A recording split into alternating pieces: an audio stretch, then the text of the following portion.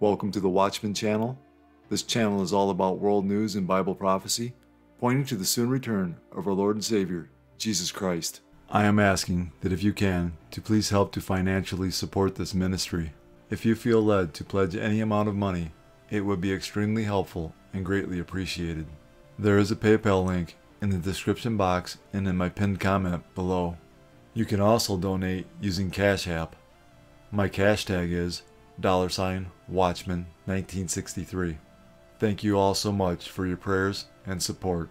God bless. Jesus said, as a sign of his coming and the end of the age, there would be an increase in deception, false Christs who will deceive many, wars and rumors of wars, nation against nation and kingdom against kingdom, famines, pestilences, earthquakes, Christian persecution, apostasy, false prophets, and lawlessness causing the love of many to grow cold. Jesus said all of these signs would come like birth pains. Jesus was likening last days events to a woman in labor. As the labor progresses, the pains increase in both frequency and intensity until the baby finally comes. As we get closer to Jesus' return, all the signs he gave us as a sign of his coming and the end of the age will become more frequent and more intense. All of these signs are manifesting around the world in our time.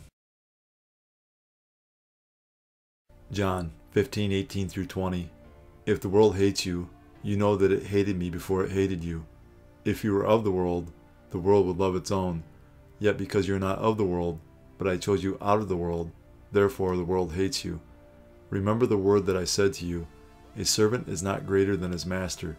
If they persecuted me, they will also persecute you. Lawmakers in the Indian state of Assam have recently passed a ban on what they consider to be unscientific methods of healing and magic. This includes prayer for healing, which could lead to arrest for those who practice it. Some Christians are concerned that this law is specifically targeting them. It's an attempt to restrict their religious practices and evangelism efforts. Well, joining us with more on Christian persecution in India is President of the Human Rights Education Relief Organization, Jason Jones. Jason, at least two Christians suffer persecution every day in India. So, why is that, and what do you think of this latest proposed law in Assam state? Well, what we're seeing in India now is, is a war against Christians, especially the Northeast, the Hill people, um, the Kuki tribes, and their community. There's not a single church left. In the past year, over 200 churches were burned down. Hundreds of people were killed. Recently, a violent mob of Hindu extremists brutally beat and raped uh, over 20 women and then paraded them through the city naked. So when you're seeing hundreds of churches burned, 70,000 Christians displaced in India, and you know, you have to set that in a world that's on fire. You know, we have in the Philippines now ISIS blowing up churches. In Nigeria, nine out of 10 martyrs, um, Christian martyrs in the world this year will be in Nigeria. Communist Party of China continues to disappear uh, Christian evangelists and Catholic bishops uh, monthly. And it's kind of shocking to a lot of Christians to discover that we often think of Hinduism as a peaceful religion. And when I try to talk to people about the rise of Hindu nationalism and the Hindu extremism in India, people will often giggle and say namaste. But the reality is, extremists have been emboldened uh, by this ethno nationalism. They have this ideology, this extremist ideology um, that says that to be Hindu is to be Indian, to be Indian is to be Hindu. And so they don't even recognize um, these communities. And a lot of Christians are, are surprised, Gary, to discover that there was a there are Christian communities in India that have been there since the first century. St. Thomas himself established those communities. So India has a long, rich history um, with Christians as an integral part of that history. And so it's quite frightening to see the rise of extremism. But these laws that are being passed, the brutality to the Kuki uh, uh, tribes, people who are 90% Christian, um, I see as a canary in the coal mine for the rest of India. Well, what do we do about it? I mean, Modi, uh, Prime Minister Modi, has done nothing to stop this. No, and he's coddled by Western elites, even Christians. You know, Pope Francis hugged Modi you know, it's it's quite sorrowful. We saw the silence of the Western Church when the first century Christians in Iraq were being annihilated during ISIS. By ISIS in October, we saw the ancient Christian community, the Armenian Christian Christian community of Artsakh, completely ethnically cleansed, and not a word from the Western Church. There's no doubt that in the United States today we wrestle with their own struggles and persecution, but we have to really understand that we are still the, the freest, most privileged Christians on earth. And as Christians, as members of the body of Christ, if we are not the voice for the Kuki Christian tribes people, if we are not the voice for the Christians rotting away in uh, black prison sites in the CCP, if we're not the voice uh, for the persecuted church in Nigeria, they will they will have no voice. We cannot count on the New York Times. Uh, it's going to be each and every one of us in our churches, asking our, our, our communities to pray, to tithe, to remember the persecuted church around the world. Shifting gears a bit here, uh, Jason, you just returned from a visit to Ukraine. What did you discover there? Yeah, one of the most shocking discoveries in Ukraine is, and this is not getting a lot of coverage, is that as as you as parts of Ukraine fell uh, to Putin, every evangelical church has been closed. So in the occupied oblasts, in the occupied states of Ukraine, every evangelical church has been closed, um, and um, every Catholic church. If it's not a Moscow-aligned Orthodox church, they're closed. So religious freedom is is under threat. The Christian persecution the church is suffering right now, awful as it is, will only get worse. The Bible tells us in the last days Right before Jesus returns, the greatest political leader in the history of mankind will take the world stage. He will launch a military campaign that will result in his acquiring authority over all peoples of the earth as we read in Revelation 13 7 and 8. It was granted to him to make war with the saints and to overcome them, and authority was given him over every tribe, tongue, and nation. All who dwell on the earth will worship him, whose names have not been written in the book of life of the Lamb slain from the foundation of the world. His empire will be the most extensive in all of history, encompassing the entire world, and his rule will be the most demonic the world has ever experienced. He will appear to be the savior of the world, but as he consolidates his power, his true nature will be revealed. He will emerge as a Satan possessed and empowered person who hates God and is determined to annihilate Christianity. His method of eliminating Christians will be by beheading, as we read in Revelation 24. And I saw thrones, and they sat on them, and judgment was committed to them. Then I saw the souls of those who had been beheaded for their witness to Jesus and for the word of God, who had not worshipped the beast or his image, and had not received his mark on their foreheads or on their hands. For this reason, he is identified in Scripture as the Antichrist, as we read in 1 John 2.18. Little children, it is the last hour, and as you have heard that the Antichrist is coming, even now many Antichrists have come, by which we know that it is the last hour. Tell us about your book, The Great Campaign Against the Great Reset. Uh, where do you see the U.S. and the world heading? The Great Reset seeks to obliterate the free institutions of civil society and the intermediary organizations between us and distant, unelected bureaucracies. I was inspired to write this book because for the past 30 years, I live and work in some of the most violent, tragic places in the world. And if you want to know how serious and how brutal this Great Reset is, it's happening. It's happening in in Israel and Gaza. It's happening in, in, it happened in Iraq. It's happening in China. It's happened in China. It's happening in Ukraine. Behind things that are startling and strange, like you're going to eat cricket meat and love it, you're going to own no property and be happy. You need to know that the ideologues behind this are the very same globalists that are behind some of the greatest catastrophes in the past 50 years. The Antichrist will control a one world government, as we read in Revelation 13 7. It was granted to him, the Antichrist, to make war with the saints and to overcome them, and authority was given him over every tribe, tongue, and nation, which is the world.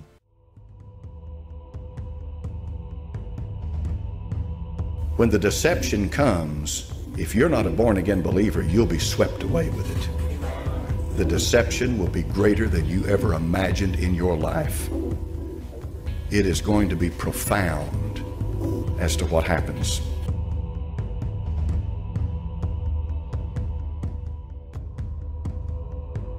people in the high places are Satanists, they're Illuminati. Spiritual power in high places that will bring about a one world government. And by doing that, they intend to rule the world. And they have the help of a whole uh, mass of demonic spirits who are able to perform all kinds of miracles, deceptive miracles, manifestations and all of this stuff to help them to bring about that one world government. And the goal is so that they can put one man up and worship him as God, the Antichrist.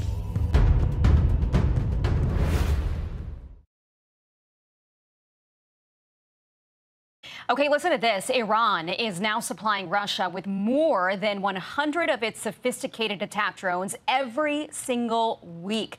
That's according to U.S. Central Command, giving the Kremlin a major lift in the war on Ukraine. Joining us now to talk all about it is General Keith Kellogg. General, welcome to the program. So these are pretty big drones. They're, what, 11 feet long? They're kamikaze drones. They can travel I think, a thousand miles. Mm-hmm. They can do a lot of damage. But it's not the drone, it's the amount of drones that the Kremlin is now producing thanks to Iran. This is a significant issue. And, and here in America, you probably don't think much about it.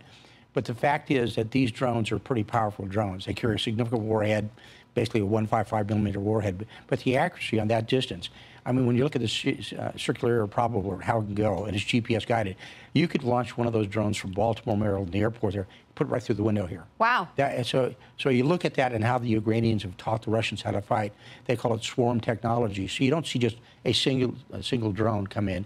You use multiple drones, 20, 30, 40, 50 in the hit. And every age has its own way of warfare. In World War One, you had the advent of the machine gun and the tank, and submarine. In World War II, you had the advent of close air support with the use of the radios and air support with the, the armor support. And now you're into drone technology. And here's the issue to me, mm-hmm. because you've really picked up on something pretty mm-hmm. large, is that we are it's asymmetrical we're not picking up well on it we have got a counter drone technology it's called the coyote system it's a missile system it costs each missile is 10 times as expensive as a singular drone. So what they are doing in, a, in an asymmetric fashion, they're basically overwhelming the defense of the Ukrainians. Wow. And we have to think our way through that, and we haven't. We keep thinking of the old way of fighting, armor, artillery. They're thinking of the new way of fighting. It's not just Ukraine, though, right? I mean, these these are actually being used. The Houthis are using them as well. So mm-hmm. now Iran is, you know, yep. helping out the Russians. They're helping out the Houthis, attacking us. I think four of these targeted a U.S. Navy ship just last night in the Red Sea. What can we be doing more of? I mean, it seems like we're just allowing Iran to kind of feel like they can play a game in the marketplace. What can we be doing more of to confront them? Two things. One is you counter the technology they've got right now, and you go basically away from a missile technology to a gun technology if you have to. But you have going to have to you're going to have to confront Iran sooner or later. They need to do that. They haven't done it. It's almost like whistling past the graveyard. Yeah. And there's ways to do it. You don't have to go to downtown Tehran to do it. You can do things to basically tell the Iranians, knock this stuff off. I mean, everything, if you want to go to the extreme, they've got a spy ship that's in the Red Sea. Well, send it to the bottom Something's if you have to do something give. like that. Or do something that is maybe out of the range of Tehran, but makes a clear point to the Iranians, you have got to knock this off. I think you hit the nail on the head when you said do something. They're becoming more frequent, apparent Israeli strikes on Iranian and Iranian linked targets in Syria. The latest, what are believed to be weapons depots in the northern province of Aleppo. A few dozen people were killed, among them Syrian military personnel and members of the Lebanese armed group Hezbollah. Israel has for years said it won't allow Iran and its allies, whose influence in Syria has grown, to entrench themselves in the country militarily. In recent months, it's targeted commanders and members of Iran's Revolutionary Guards, no longer just focusing on weapons storage sites and convoys carrying arms. Among Israel's stated goals is preventing Syria being used as a transit point for weapons to reach Hezbollah and the occupied Palestinian territories. There is what has been described as a shadow war between Israel and Iran in Syria for years now. And in recent months, since Hezbollah opened a front line against Israeli forces to help Palestinians in Gaza, Israel appears to be employing the same strategy against Hezbollah. Iran's ally in Lebanon. Here in Lebanon, targeted killings by apparent Israeli drone strikes are increasing. More often than not, members of Hezbollah and at times field commanders are killed. Many here see a strategy of Israel diminishing its enemy's operational capabilities. Hezbollah, for its part, raised the costs of the conflict for Israel by forcing it to empty much of its north of many of its people. It has yet to escalate to the level of full scale conflict, but warned it is ready if Israel expands the war. The events of uh, the last few days have been wider than what we've seen in quite some time. So I expect only further escalation. Unfortunately, we're in a regional situation where the prospects of de escalation are, are, are, are quite limited. And while much of the world's focus is on the war on Gaza, the violence between Israel and Hezbollah is beginning to intensify. As we continue to watch the Muslim world unite against Israel, the Bible tells us there are four possible prophecies on the verge of finding fulfillment. Isaiah 17 1 and 14. The burden against Damascus. Behold, Damascus will cease from being a city, and it will be a ruinous heap. Then behold, at eventide trouble, and before the morning he is no more. This is the portion of those who plunder us, and the lot of those who rob us. Isaiah 17 9. In that day his strong cities will be as a forsaken bow and an uppermost branch, which they left because of the children of Israel, and there will be desolation. Isaiah 17 1 and 14 tell us Damascus will be destroyed in a single night. Verse 9 suggests it is the children of Israel who caused this desolation, possibly with a nuclear weapon. Jeremiah 49 34 through 37. The word of the Lord that came to Jeremiah the prophet against Elam. In the beginning of the reign of Zedekiah, king of Judah, saying, Thus says the Lord of hosts Behold, I will break the bow of Elam, the foremost of their might. Against Elam I will bring the four winds from the four quarters of heaven, and scatter them toward all those winds. There shall be no nations where the outcasts of Elam will not go. For I will cause Elam to be dismayed before their enemies, and before those who seek their life. I will bring disaster upon them, my fierce anger, says the Lord, and I will send the sword after them until I have consumed them. In this prophecy, Jeremiah predicts that Iran will be struck at the foremost place of its might, which today could infer an attack upon its nuclear program. One of Iran's most strategic and vulnerable nuclear targets is Bushehr nuclear reactor located in the heart of ancient Elam. Jeremiah says that Iran has fiercely angered the Lord, and that provokes the Lord to cause a severe disaster inside of Iran. Israel seeks to prevent Iran from becoming a nuclear nation. Perhaps this alludes to a nuclear disaster caused from a strike upon Iran's Bushehr nuclear reactor. There's a prophecy written by Asaph the seer that many end time teachers believe has yet to find fulfillment. In this prophecy, a confederation of Muslim nations have taken crafty counsel against the Jewish people in Israel in order to destroy them, as we read in Psalm 83 1 through 8. Do not keep silent, O God. Do not hold your peace, and do not be still, O God. For behold, your enemies make a tumult, and those who hate you have lifted up their head. They have taken crafty counsel against your people, and consulted together against your sheltered ones. They have said, Come, and let us cut them off from being a nation, that the name of Israel may be remembered no more. For they have consulted together with one consent. They form a confederacy against you. The tents of Edom and the Ishmaelites, Moab and the Hagrites, Gebal, Ammon, and Amalek, Philistia with the inhabitants of Tyre. Assyria also has joined with them. They have helped the children of Lot. Ezekiel 38 1 through 9.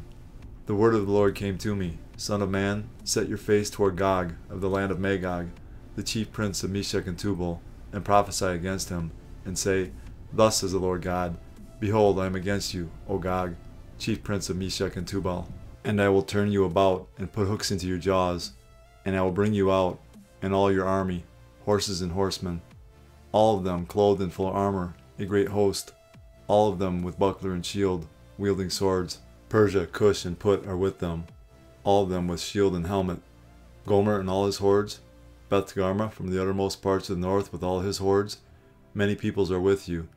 Be ready and keep ready, you and all your hosts that are assembled about you, and be a guard for them. After many days you will be mustered. In the latter years you will go against the land that is restored from war, the land whose people were gathered from many peoples upon the mountains of Israel, which had been a continual waste. Its people were brought out from the peoples and now dwell securely, all of them. You will advance, coming on like a storm. You will be like a cloud covering the land, you and all your hordes, and many peoples with you. These are the modern day nations listed in Ezekiel 38 and 39 who will be mustered in the latter years to attack Israel Russia, Iran, Turkey, Libya, Sudan, and Ethiopia. God tells us exactly what will happen to Iran, Russia, Turkey, and the many peoples with you when they attack Israel in Ezekiel 38 18 through 23 and 39 2 7 and 8. And it will come to pass at the same time when God comes against the land of Israel, says the Lord God, that my fury will show in my face. For in my jealousy and in the fire of my wrath I have spoken. Surely in that day there shall be a great earthquake in the land of Israel, so that the fish of the sea, the birds of the heavens, the beasts of the field, all creeping things that creep on the earth, and all men who are on the face of the earth shall shake at my presence. The mountains shall be thrown down, the steep places shall fall, and every wall shall fall to the ground. I will call for a sword against Gog throughout all my mountains, says the Lord God. Every man's sword will be against his brother, and I will bring him into judgment with pestilence and bloodshed.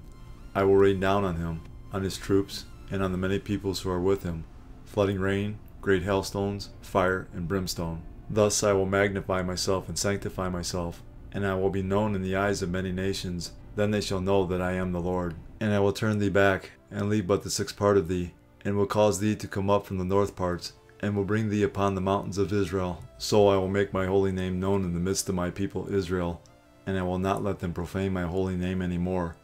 Then the nations shall know that I am the Lord, the Holy One in Israel. Surely it is coming, and it shall be done, says the Lord God.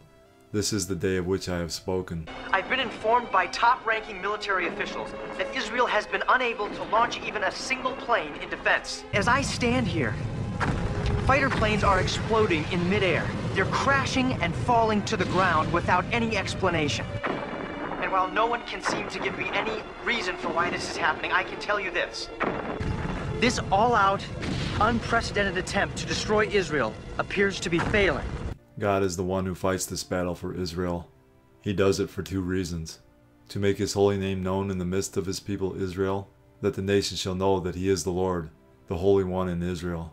Zechariah 2 8 and 9. For thus says the Lord of hosts He sent me after glory to the nations which plunder you. For he who touches you touches the apple of his eye. For surely I will shake my hand against them, and they shall become spoil for their servants. Then you will know that the Lord of hosts has sent me. Israel is precious to Almighty God, the apple of his eye. He is simply saying, You touch my chosen nation Israel, you poke me in the eye. Is Vladimir Putin, the infamous Gog of Magog, that the prophet Ezekiel warned would come on the scene in the last days and lead a coalition of nations to destroy Israel? Or could Gog be Recep Tayyip Erdogan, another dictator who is fast gaining power and dominance in the Middle East, biblical scholars can't agree if the prophet Ezekiel was talking about a last day's assault on Israel being led by Russia or Turkey. Many popular Bible teachers claim that Gog will come from Russia, while others claim that Ezekiel's prophecy actually points to Turkey. Whether Gog is from Russia or Turkey, both nations are presently being led by undisputed dictators who could each very easily fit the Gog profile. Burnt down cars and bodies in the streets, these are some of the apocalyptic scenes in Haiti's capital. The UN denounces the gang violence which has intensified in recent weeks. The situation in Haiti is cataclysmic. Corruption, impunity, and poor governance, compounded by increasing levels of gang violence, have eroded the rule of law and brought state institutions close to collapse. Tackling insecurity must be a top priority to protect the population and to prevent further human suffering. Over 1,500 have been killed since the start of the year, and more than 360,000 Haitians displaced according to the UN, the majority of which travel to Haiti's more peaceful southern region. Those who haven't left their homes remain stuck inside for fear of getting caught in the violence. Haitians desperately wait for the transitional presidential constitution to be installed and are calling on the population to unite. The presidential council must be set up to calm the situation. If the people's demands are not met in two months' time, there will be no way out. Despite an international arms embargo put in place to try and curb the violence, the trafficking of weapons and ammunition continues through what the latest UN report calls Haiti's porous borders. With UN rights experts saying Haiti will need between 4,000 and 5,000 international police to tackle the gang violence which has targeted institutions across the country. Is global chaos the new normal? As anyone can plainly see, the world is in a state of decay moral, economic, political, every way possible. People are saying the world is out of control and looking for someone, anyone, to rescue the planet. Soon, very soon, a leader will appear on the horizon that appears to have all the answers, to calm the oceans, to bring peace to all the nations. His title will be the Antichrist, and he will be welcomed by millions of those on earth not taken with the rapture. Unfortunately, his true identity will be known soon to those left behind, that his true intentions are death, destruction, and control. So, yes, global chaos is the new normal until the Lord Jesus Christ comes at the end of the Antichrist's seven year reign of terror and establishes true peace on earth. It seems like a good time for Satan to present the lawless one to the world. 2 Thessalonians 2 7 through 12. For the mystery of lawlessness is already at work. Only he who now restrains will do so until he is taken out of the way. And then the lawless one will be revealed, whom the Lord will consume with the breath of his mouth and destroy with the brightness of his coming. The coming of the lawless one is according to the working of Satan, with all power, signs, and lying wonders, and with all unrighteous deception among those who perish, because they did not receive the love of the truth, that they might be saved. And for this reason, God will send them strong delusion, that they should believe the lie, that they all may be condemned who did not believe the truth but had pleasure in unrighteousness. The signs of Jesus' soon return are so strong now, and the evidence is so clear, that any person willing to accept the truth can see that the end of the world as we know it is near. For God so loved the world that he gave his only begotten Son, that whoever believes in him should not perish, but have everlasting life. For all have sinned and fall short of the glory of God. But God demonstrates his own love toward us, in that while we were still sinners, Christ died for us. For the wages of sin is death, but the gift of God is eternal life in Christ Jesus our Lord. That if you confess with your mouth the Lord Jesus and believe in your heart that God has raised him from the dead, you will be saved. These are the ABCs of salvation. A. Admit that you're a sinner. B. Believe in your heart that Jesus Christ died for your sins, was buried, and God raised him from the dead. C. Call upon the name of the Lord, and you will be saved. Jesus paid the price for mankind's sin. He has provided a way to spend eternity with Him and the Father. All you have to do is believe in the Lord Jesus, and you will be saved. God has already done all the work. All you must do is receive, in faith, the salvation God offers. Fully trust in Jesus alone as the payment for your sins. Believe in Him, and you will not perish. God is offering you salvation as a gift. All you have to do is accept it. Jesus is the only way of salvation. That being said, we must repent of our sins. While repentance is not a work that earns salvation, repentance unto salvation does result in works. It is impossible to truly and fully change your mind without that causing a change in action. In the Bible, repentance results in a change in behavior. Repentance, properly defined, is necessary for salvation. One day, Jesus is coming. You may be at church. You may be at work. You may be asleep. God grant that you will be ready when He makes His personal appearance. My God, what if His appearance occurs on a Sunday morning? My prophetic word to you this morning is get ready! Get ready!